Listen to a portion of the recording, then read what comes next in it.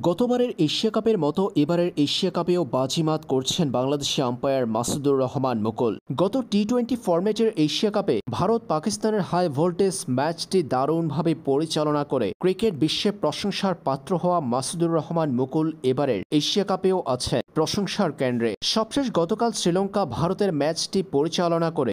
আবারও নজর কেড়েছেন তিনি। পুরো ম্যাচ জুড়ে তার নিখুঁত আম্পায়ারিং আলোচনা এসেছে ক্রিকেট পাড়ায়। তার বিপক্ষে চ্যালেঞ্জ জানিয়ে বারবার ভুল প্রমাণিত হয়েছে দুই দলের অধিনায়করা। এবারের এশিয়া কাপে এর আগেও ম্যাচগুলোতে এমন সব নিখুঁত সিদ্ধান্ত দিয়ে প্রশংসায় ভেসেছিলেন বাংলাদেশি এই আম্পায়ার এবারের এশিয়া কাপের ফাইনাল ম্যাচটি অনুষ্ঠিত হবে আগামী সতেরো সেপ্টেম্বর কলম্বোর প্রেমাদাসা স্টেডিয়ামে। ফাইনালে এক দল এরই মধ্যে পা রেখেছে। নিশ্চিত হয়েছে ভারতের ফাইনাল খেলা। কলম্বোর প্রেমাদাসা স্টেডিয়াম যেমন ফাইনালের ভেন্যু হিসেবে নিশ্চিত, ঠিক তেমনি ভারত এক ফাইনালিস্ট হিসেবে নিশ্চিত।